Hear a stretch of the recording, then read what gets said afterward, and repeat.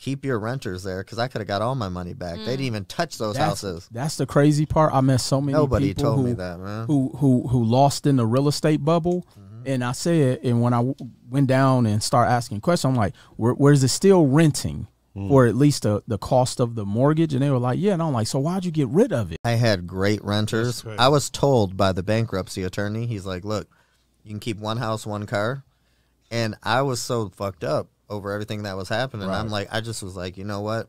I told everybody, I'm like, yo, you guys got to be out in 30 days. Packed my shit, moved to LA, come back three years later, and all the houses are still sitting. You know why the bankruptcy attorney told you that, right? No. Because he make his fees off of you filing bankruptcy. Like, That- shit. He's not a real estate person.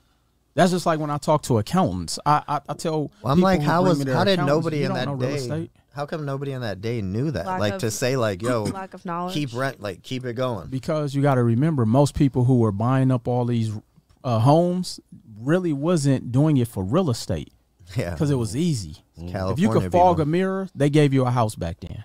Yeah. Mm. you know. Well, that's what they said. They said countrywide with me, like you know, they were saying credit wise, you wouldn't even have got a house, but the fact you had twenty five grand, they didn't. You're they didn't care if you approved. if you fogged a mirror. Yeah. You got a property back then.